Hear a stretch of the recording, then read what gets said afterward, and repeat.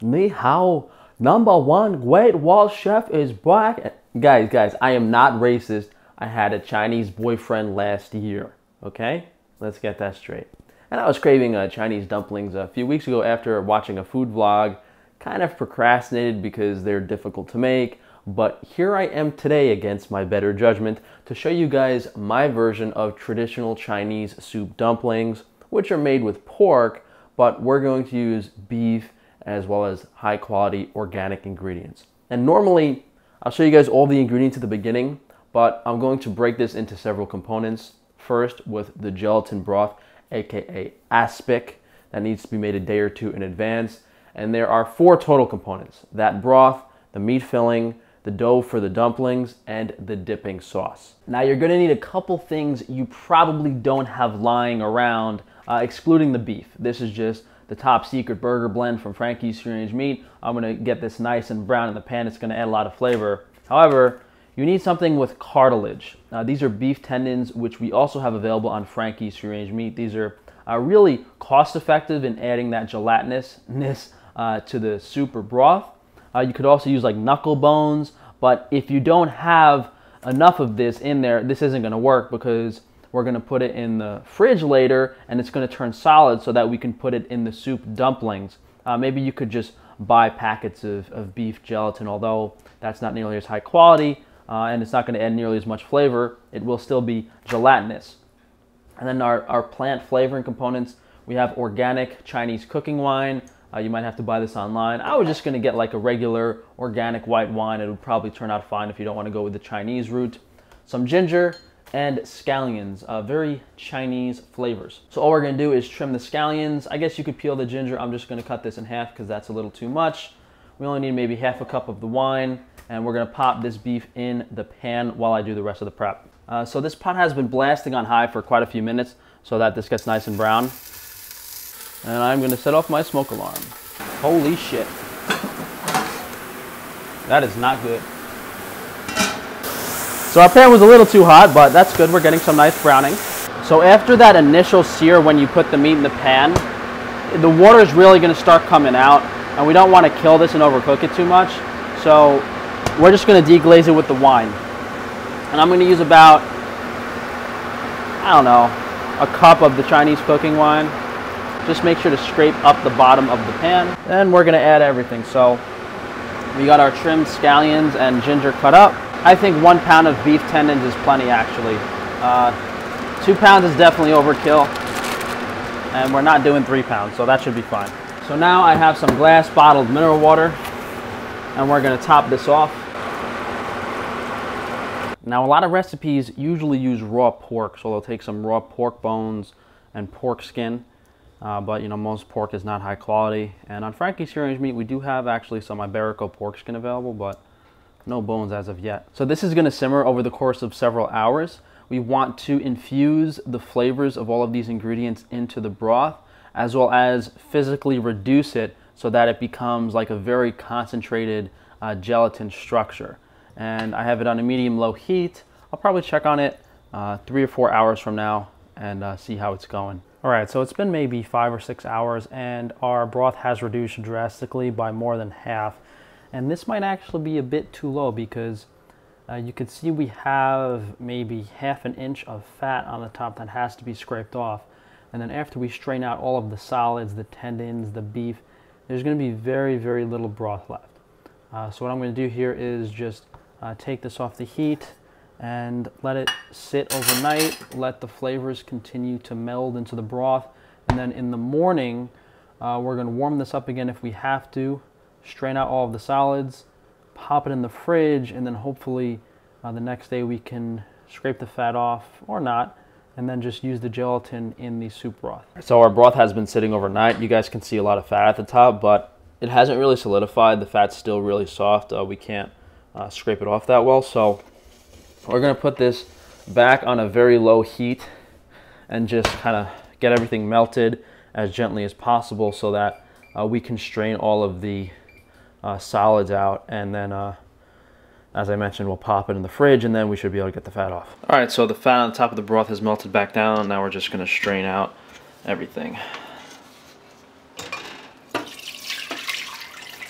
So there we go. This is a lot of broth, probably enough for three or four batches of dumplings, but we're gonna pop this in the fridge. All right, so we'll come get this tomorrow when we go to make the dumplings. On to the filling, which is as classic as it gets, with the exception of the meat choice. I'm using some 93.7 lean ground beef from Frankie's Free Range Meat. Uh, we have ginger and scallions, the cooking wine that we used earlier, some toasted sesame oil, some coconut aminos, sugar, white pepper, and salt.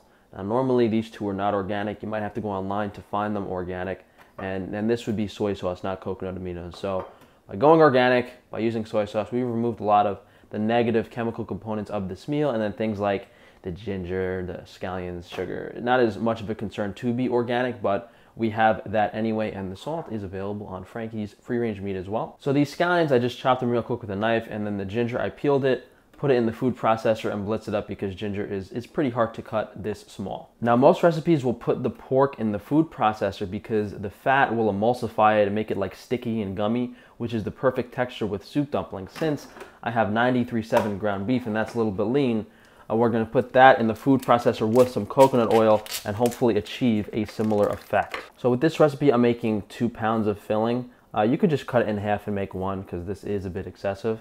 Now, if you're using fatty or meat, I don't think you're gonna have to do this, but I'm gonna squeeze in a bunch of coconut oil. Yeah, so after about 30 seconds in the food processor with the coconut oil, that lean ground beef has, has the texture we want. You see it's kind of like pasty and a little bit sticky. Probably not as sticky as pork, but this is this is perfect. To our two pounds of beef, we are adding four tablespoons of the organic Chinese cooking wine, two tablespoons of coconut aminos, sweet, salty, two tablespoons of our ginger, four tablespoons of scallions, one tablespoon of salt, and then we want one teaspoon of the organic toasted sesame oil. And I did find regular sesame oil uh, at Whole Foods, but that does not have the right flavor. You need to use this. A bit of white pepper, now, when they use pork, they put in one and a half teaspoons of sugar. And against my better judgment, I'm gonna put that in here, but I have a feeling for beef, you don't wanna add the extra sugar. Now we're just gonna mix this up for maybe five or 10 seconds. We don't wanna puree, we just wanna incorporate everything together. All right, not even three seconds, should be fine. All right, we're gonna set this aside in the fridge and move on to the dough. Good news is that the dough is only two ingredients, flour and water. Here I have measured out 240 grams of organic all-purpose flour, and 180 grams of glass bottled mineral water. In the negative news, the recipe said to add these one tablespoon at a time to this bowl and then knead it. So, oh man, this is this is the part of the recipe I'm regretting because I don't have any patience. Now this to me seems ridiculous. We have some flour, some water, all right, you know what? We're not gonna. I'm not Chinese, so I'm not following the Chinese rules. We're gonna see what happens if we just put all this together. I mean, the only reason I can assume you would add one tablespoon at a time is so that the flour hydrates with the water fairly evenly. But I mean, I don't. This looks fine to me. I'm just gonna put a little bit of flour on top so I can knead it. So if you rub, if I rub my hands together to get the dough off, you can clearly see it just gets more and more stuck to my hands. So that does not work. So we're kneading the dough, and when it gets like unbearably sticky and I can't really knead it anymore, I'm just adding a little bit of flour. Yeah, this is a this is a nice amount of dough to work with. Just enslave your kids to uh, help you out one night. I'm assuming if you don't knead this, then when you roll this out pretty thin to make the dumpling, it's just going to fall apart in your hand. And to my understanding, you know, Chinese restaurants are known for working very hard. You know, having like 10, 15, 20 guys in the basement all to make soup dumplings for the day. So anytime you see a Chinese recipe, be prepared to spend half your day making it. So I've been eating for about 15 minutes and then they say you're supposed to let this rest for 30 minutes. So I'll see you guys in half an hour. So we should be ready to make the soup dumplings. We have the aspic, the gelatin broth, our meat filling, our dough is all ready and I've made a ghetto steamer setup. So I took like a straining bowl, I put a plate in it and in this pot in the bottom I have a bunch of water and I'm just gonna cover it with a lid. It's not perfect, but we should be able to steam these just fine. And you could get creative with this. You could put like a bowl upside down in the bottom, put a plate. I've seen people use aluminum foil, which uh, I don't think is that great. They like make aluminum foil balls, but just figure out some sort of steaming setup, or you could actually buy a, a bamboo steamer. And judging by the amount of effort to put into this recipe, if you're gonna do it, you might as well get one. Now we can't actually see if this is gelatin or not because all the fat has floated to the top. So I'm gonna go around the edge with a knife. Oh no, so this is this is as perfect as it gets. Look at that. You guys see that? It's like I'm like I'm like pressing I'm bouncing off of it. Like if you jumped into a pool of this stuff, you would bounce off of it. It's like rubber. And the reason we needed a gelatin broth so badly is because how do you get soup into a dumpling? You don't. You put this in the dumpling, and when you cook it, it melts into soup. This is definitely overkill on the collagen content. Now, some recipes will combine this with this. They'll mix it together and put it in the dough. Other recipes actually do it separate. So they'll put the filling in the dough first, and then they'll put this in. Either way, it doesn't really matter. Now, this is the main thing I was worried about, the level of skill it takes to make these. And I would say out of all the components of this recipe, this is this is definitely, you know, the hardest thing. So every time I've seen someone make these, they roll out like a snake. And this is done in uh, with pasta in Italy too. I mean, this isn't perfect, but it's fine for what we're doing. So now you want to cut these evenly. So I'm to do, I forgot what the recipe said. I think maybe, I'll just go with this. So we'll do this. We can take it, slide it over, and then make sure they're the same size. I mean, you don't have to do that. You could just eyeball it, but for consistency, it's nice. You can just take one and go over, take one and go over and put that back now. Yeah, so I mean, I'm not gonna pretend I'm an expert on doing this. So definitely go watch some videos on how to make soup dumplings and, and see if you're any better at it than me. I've never been that, you know, good with my hands. So like, uh, if I was, I'd be doing like marble sculptures or some type of construction work. But so over the past 10 minutes, I've gotten slightly better at making dumplings. I will share what I've learned. So you want the initial shape before you roll it out to be uh, circular so that when you roll it out, you only have to do two motions, up, down, flip it the other way, and then go up, down again. And then you should have a relatively circular dumpling dough. And then if, if you feel any spots are a little thicker on the edges, you can just stretch it out a little bit. Uh, I haven't had a problem with putting too much filling in here yet. However, I will say some of those are thinner than others. So when we cook them, if none of them fall apart, then we know for sure you can go thinner on all of them. I don't know, I made enough filling and soup for like a thousand dumplings. I like leaving it on the counter and then I'll take up one side and instead of going like outside, like folding it outside, I fold it on the inside. So fold it on the inside, fold it on the inside, fold it on the inside, inside, inside, inside, inside, inside, inside, inside, inside, and then eventually you're all the way around, and I give it a nice little twist. And I mean, I mean, guys, come on, I'm Italian. I'm, I can't, I mean, I'm not making soup dumplings, but it's better than before. So while I was finishing making those dumplings, I did a test batch, and they stuck to the plate. Now I wish I did one dumpling test instead of five dumplings, but whatever. So hopefully if I put some coconut oil on the plate, these won't stick the second time. While that's warming up, we're going to make the traditional dipping sauce, which is typically just vinegar and ginger, but I'm going to add a couple of other things to make it a little special, maybe for the worse, because we already have a lot of flavorings in here, so all you really need is acidity. Technically, there shouldn't be any need to add more than vinegar to these dumplings. So we have maybe, you know, half a cup of our rice vinegar. We'll put in some ginger, put in some scallions, and we'll put in just a dash of coconut aminos, a pinch of salt, tiny, tiny bit of sesame oil, maybe like one or two drops. So classic is just without the sesame oil and aminos. But there we have it. Now I really wish I bought a bamboo steamer because I'm not liking the way this looks, but we don't really have a choice. Yeah, I mean, th these are even sticking to the, the plate that they're resting in, so the main concern is if these stick on the bottom, the bottom part of the dumpling will open up and we will lose all the soup.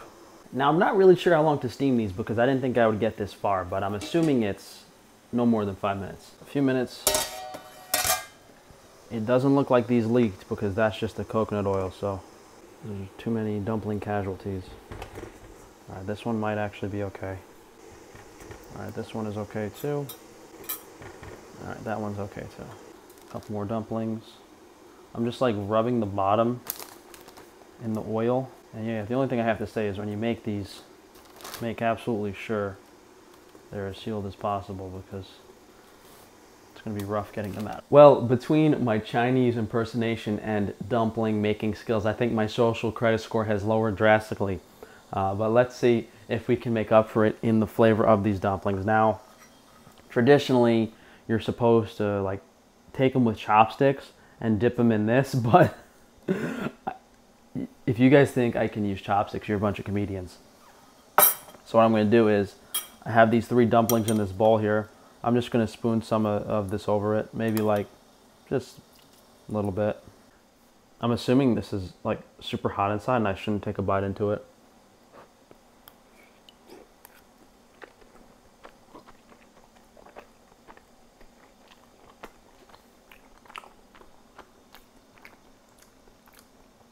That is like exactly what I was thinking about when I wanted to make these. You bite into it, you have this nice, like, plain dumpling wrapper, but just all of the seasoning of it, the ginger, the vinegar, it's really nice. And then as it breaks open, you get that little burst of warm soup and the, the super seasoned flavor of the filling. I'm incredibly happy with how these turned out. They're delicious. The only uh, problem is my dumpling making skills. So the dough's a little thick, especially on the top. So what you could do is, after you like scrunch the dumpling together, if you're not that good at it, like me, maybe just rip a bit off the top so it's a bit more thin throughout. Insanely, insanely delicious. Very good. And the ingredients I've used when making these, I've kept in mind it's like something I can eat that's okay for my liver. So I'm kind of happy. There's a lot of work involved, but I could see myself having this maybe next time I feel like losing my mind making these. So if you're missing Chinese food, if you want to make dumplings, whether it's like boiled or pan fried, definitely try this filling as well as gelatin recipe. Amazing, delicious. Um, I'm not going to post the recipe below, but you know, you guys can watch throughout this video and take notes if you actually do want to make these. Uh, so thank you guys for joining me today. If you could please drop a like on the video, leave a comment down below, subscribe so that YouTube can unsubscribe you next week, and be sure to check that notification bell so they don't notify you of my videos. Therefore, you can go to frank-tufano.com to support me through all of my businesses. We have the, the beef and the salt on Frankie's Free Range Meat and all of the other stuff. You know, I wear my Wi-Fi shielding clothing all the time. Just check them all out, frank-tufano.com, and maybe eventually I'll be able to afford to hire someone to make a cookbook out of all of my YouTube videos. Thanks again, guys, and I'll see you tomorrow. Oh, oh no, my, my social credit score now, it's, it's the highest in China. So I'm expecting them to send, you know, some very attractive Chinese people my way on a private jet fairly soon. Hey, I can pick them up from the airport in my used Honda CRV.